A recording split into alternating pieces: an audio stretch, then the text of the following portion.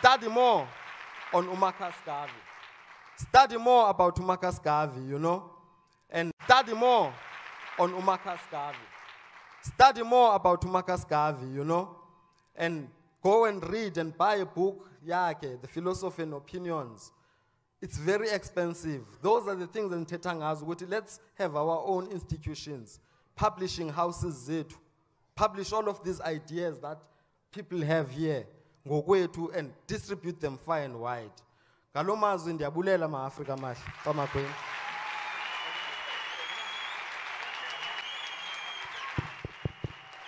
Uh, dynamite comes in small packages.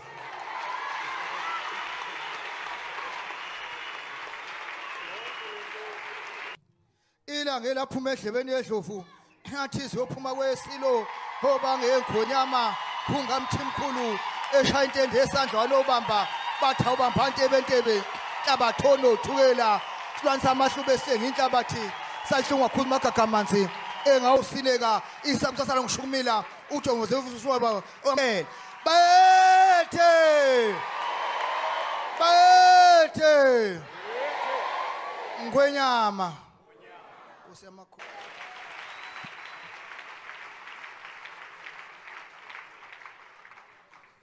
yaqhubeka iprogram yethu sicela ukubonga kakhulu kuButhando njengoba besengishilo earlier ukuthi uButhando um sizwe indaba ezibuhlungu kakhulu kodwa angeke usho ngendlela obekhuluma ngayo but it shows you the strength of a man and he understands the importance of the assignment yanamhlanje.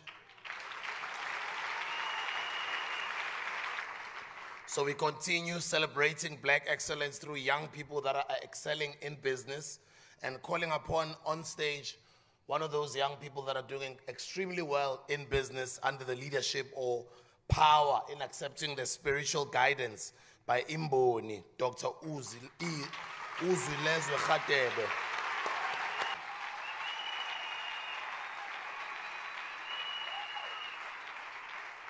Um, now we are talking solutions. We're not only just talking about what was done to us, um, you know, dwelling on uh, the past, but the past is important. You know, as they say, isankofa. You know, inyone pege mover to take that seed and the knowledge so we can be able to do better. So now we are doing better because young people are learning to sell. Thank you, thank you, thank you. So be proud mntaniseka ukuthengisa because even people who work, they work for people who are selling. Every company is selling. When you're going to work, wherever you work, whether mhlawumbe uhleli ema-ofisini, that company is selling a service to somebody or they are selling a product to somebody. So uma umuntu ume- eh, noma ethengisa emgwaqeni ekhoneni ungambhekiseli phansi ngoba urana ibhizinisi lakhe. Technology can make young people to even sell easier but still perform better.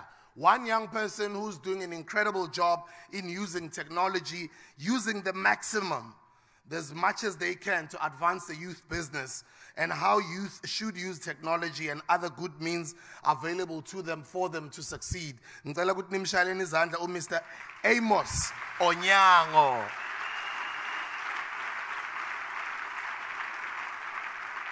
Before he comes on stage, I want you guys to watch the video, watch the amazing work that he's doing, watch the incredible impact that he's making in his community. And usese umuntu omusha. I hope now omusha, you are inspired by this amazing young man, Mr. Amos Onyango. Here's the video.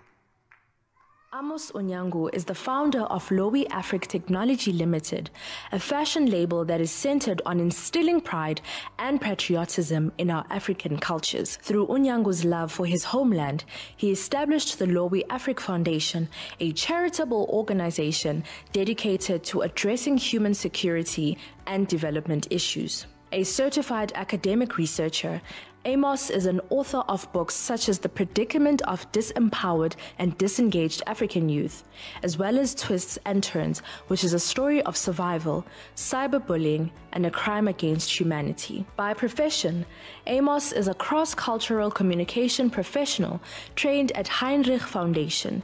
He is also a trained teacher, currently pursuing a Master of Arts in Ethics and Organizational Leadership at Tangaza University College in Nairobi, Kenya. He also obtained a bachelor's degree in English and Literature from the Kenyatta University. With an impeccable track record of leadership, Amos has worked as a project manager in organizations such as the PLO Lumumba Foundation, and he currently serves as the managing director of the Kutula Foundation. Adding to his basket of leadership, Onyango is the youth president of Destination Imagination Africa, DI Africa, an NPO that encourages young Africans to overhaul the oppressive educational system by becoming creative innovators and inventors. Onyango has received numerous awards, including the Lions Den competition for young African entrepreneurs at the Economic Summit and the Africa Youth Icon Award in 2021. Onyango is passionate about the African dream, advocates for a self sustaining Africa through locally produced goods and services, ideas, and human resources an individual who reveres the essence of Ubuntu. Onyango is of the sentiment that as Africans, we are the only race that tolerates every other race, but we are the worst in embracing our own Africans, and as such, we are our greatest enemies. Ladies and gentlemen, put your hands together for Amos Onyango. Amos Onyango.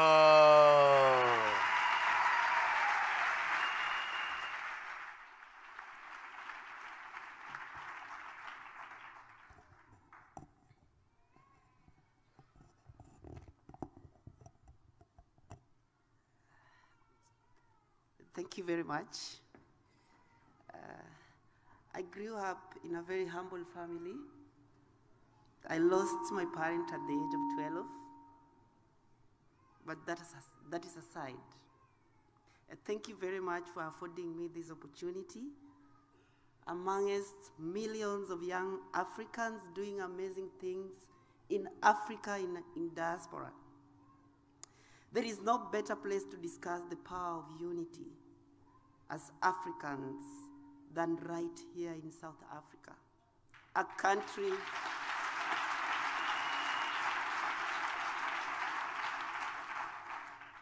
A country that went through the twists and turns of apartheid for nearly 42 good years.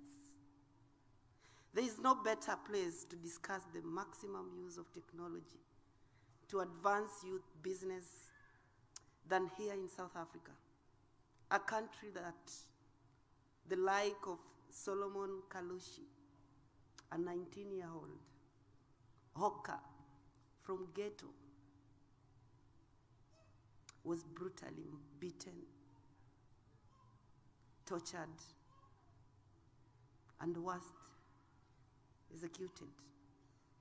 There is no better place to inspire the now, the now, and the next generation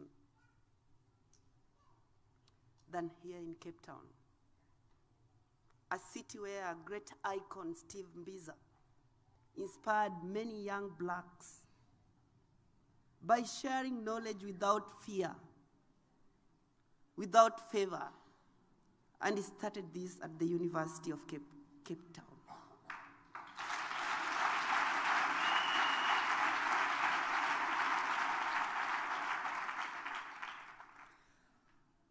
But the question is, I would like to pose this to my fellow young people.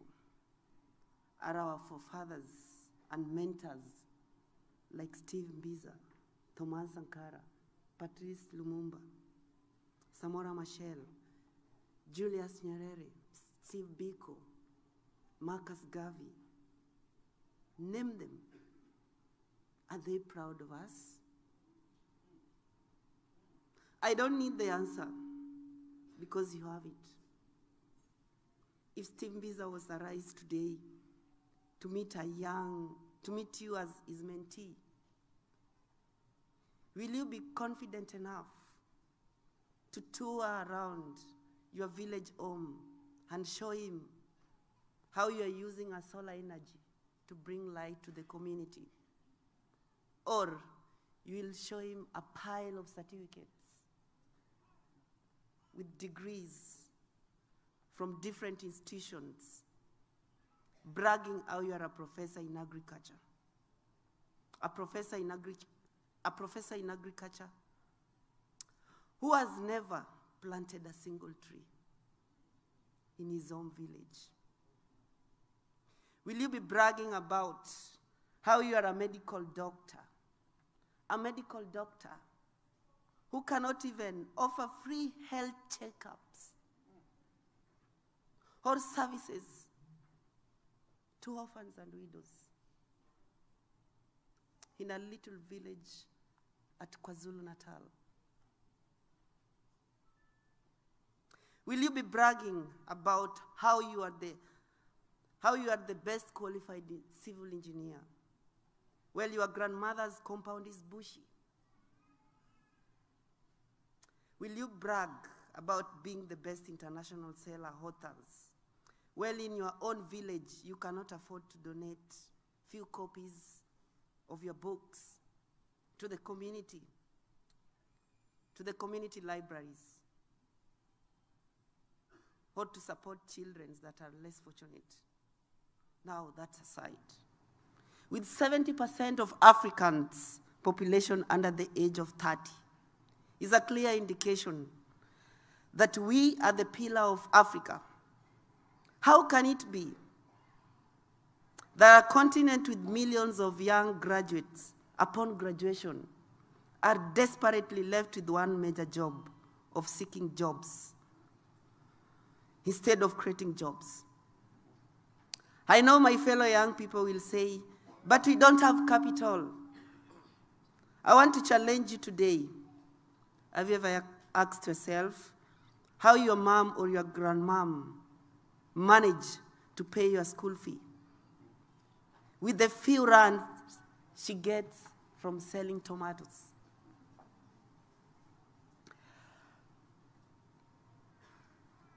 I know some will argue that those were decades. Which generation is Khaby Lame from Senegal? A, 20 year, a 22 year old born TikToker star who is now a billionaire without saying a word, just using technology. An African child.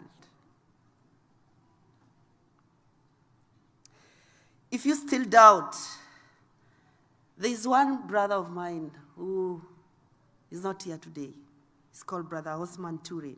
He declined a scholarship to study in Canada, and instead he opted to study master's degree in development studies in Rwanda because he believes we have the good institutions in Africa.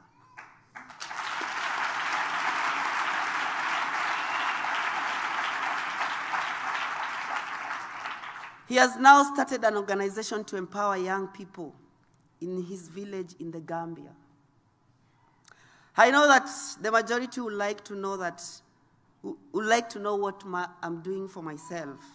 Upon, upon getting mentorship from the P.L. Lumumba Foundation, and I want to say thank you to Professor P.L. Lumumba because he was here as the guest in the last memorial.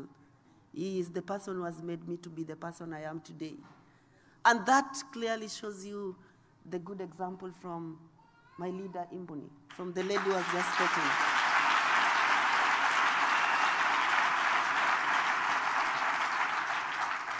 We must begin to pass the baton to the next generation.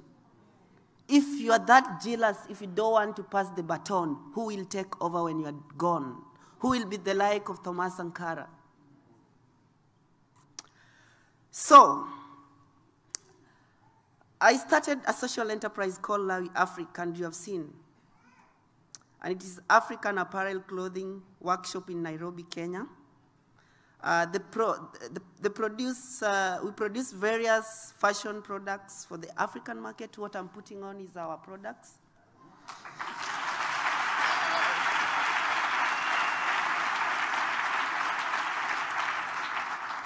So from the business, we have what is called Lawi Afric Foundation. We have Lawi Afric Technology Limited, which is the company, and Lawi Afric Foundation receive 45% of the proceeds that, that we get from, uh, from the foundation to train young, passionate people.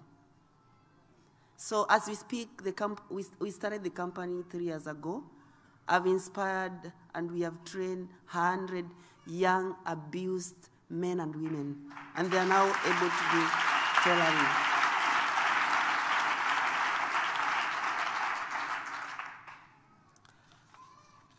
Beside being an entrepreneur, I'm an author of three books, as you have known, and they were all said. But I want to challenge you back to history because history reminds us where we came from.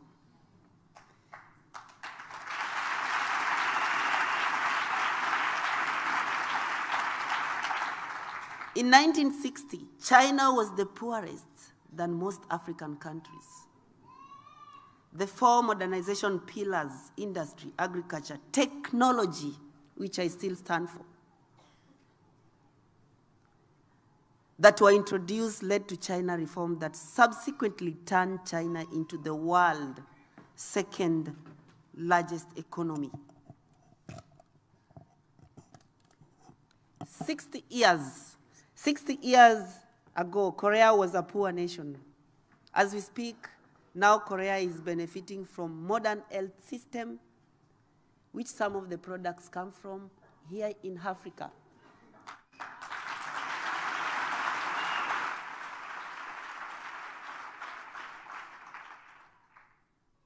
Dear Africans, the power is in our hands. We are not destiny to the servant of the colonizers. That is not the destiny of the blacks. And we have to change the idea because many of us are still operating in the concept. Why do we assume that if we run to their countries, they are going to offer us jobs? Yet they are having difficulties making jobs for themselves. This is why they are running in Africa. This is why they want a portion in Africa. Look at what is happening in DRC Congo. Look at what is happening in southern Amazonia. Why do you think they are invading Africa? The greatest problem that our colonizers are facing today and their, and their economies are facing today is that they are not even generating enough jobs for their own people. That is why they are stealing from Africa. That is why their system is not investing.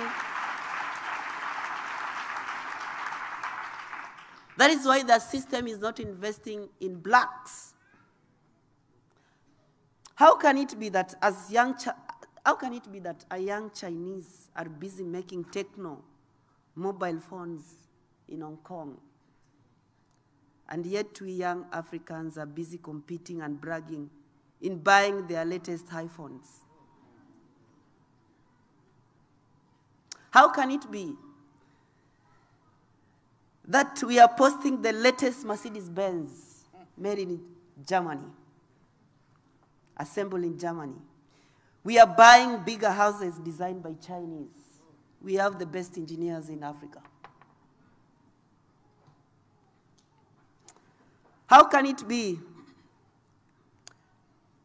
that we are ordering the latest designers' shoes and suits from Turkey, from India, from Italy? And I know majority of you have put on Italian shoes.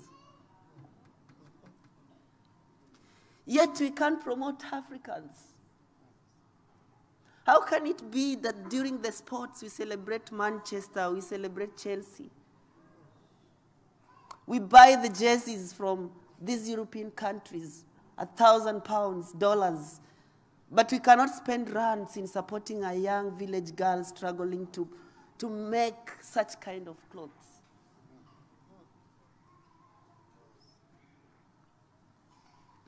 It is in Africa where some of us young people can afford to buy our friends bottle of whiskey, gin, beer, name them. But we can't afford to buy a packet of maize seedling or sanitary pads for the same friends. It is in Africa where some of us young people have money to travel abroad and watch UEFA live, but they can't afford money to support a little girl in Kaduna in Nigeria to come and attend this amazing conference. Now, what is our role as young people? What should we do? We should invest in sharing important information with the younger Africans.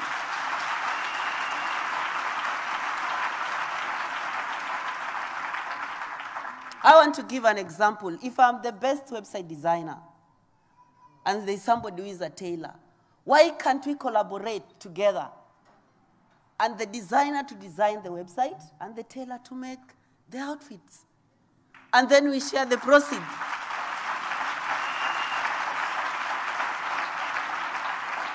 That is what the Chinese are doing.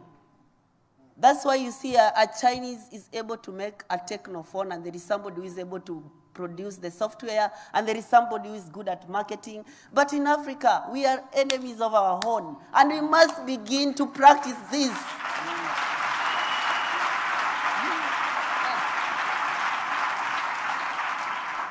We have lamented, we have written history, we have written books, we have documented so many things. And I think this is the platform to challenge fellow Africans who are listening to us today. That is enough of history. It is time to walk the talk.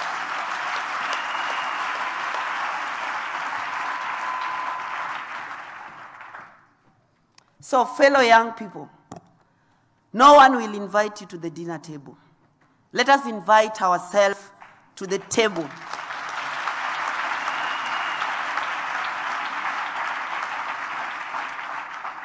To our elders and mentors, this is the time to support young Africa with zeal. And when you watch the young suckers grow, please don't prune them. Water them, weed them, help them spread their shades.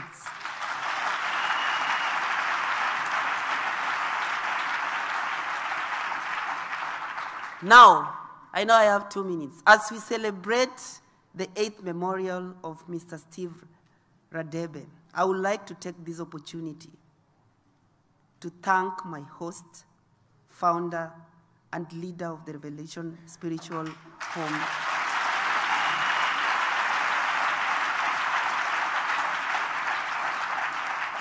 African Voices and Dr. S.B. Radebe Foundation, Imboni.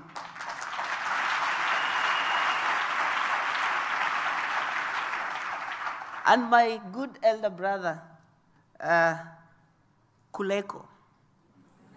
I hope I've pronounced it right. for, the, for the opportunity, because young people are rarely given opportunity. And let me tell you, that is what is bringing this continent down. That's why we have leaders who are sticking into power and they don't want to pass the baton. So we don't take it for granted.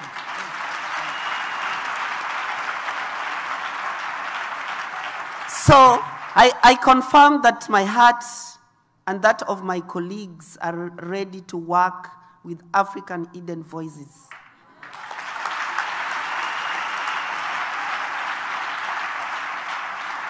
And since it is an international organization of the voices and unsung heroes and heroines and all Africans, especially the marginalized, as I conclude, allow me to wish Dr. Uzwe Leswe a happy birthday.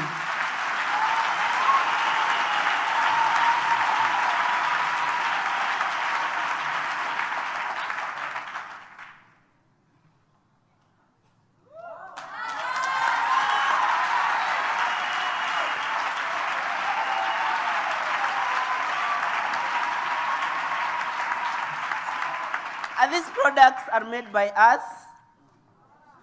And we just wanted to show you that.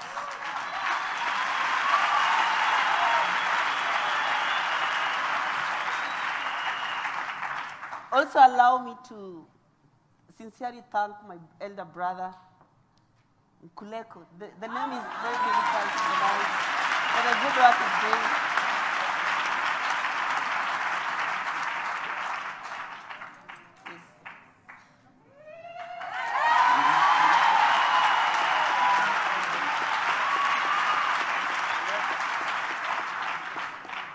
So uh, lastly, we are requesting to host the next annual commemoration of African ancient indigenous prophets, kings, academic, etc. in Nairobi, Kenya.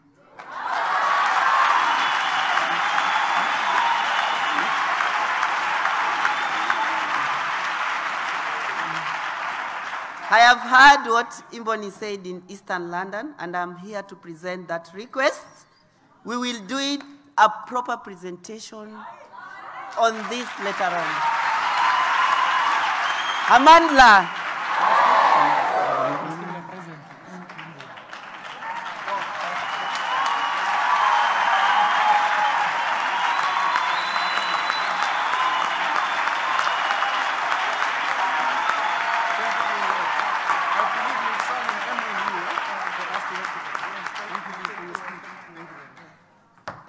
Sebenzo muhle kakhulu Amos. Thank you. Thank you.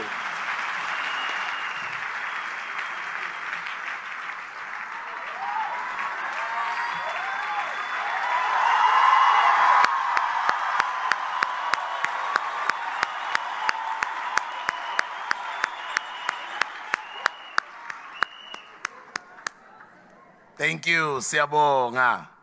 Siyabonga kakhulu ngomsebenzi omuhle abawenzayo. Niyamuzwa uma ekhuluma ngathi student sikabani?